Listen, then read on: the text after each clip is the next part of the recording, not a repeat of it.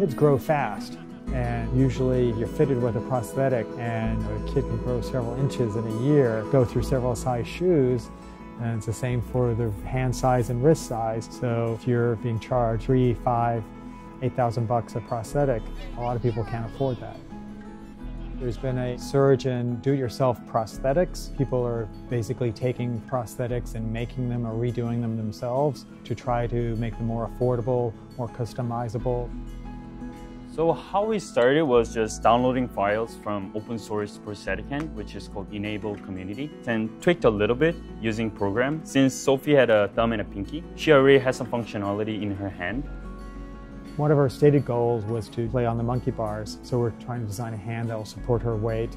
Uh, we've come up with some designs that add two fingers, add three fingers. You have a network of 3D printers and this community that's sharing this information, so it goes beyond just Sophie. When we upload our files and show what we've done, we share what we've done, it'll benefit a lot more people and it brings home that the 3D printers can be incredibly useful tools in the hands of designers and engineers and people who want to produce functional items.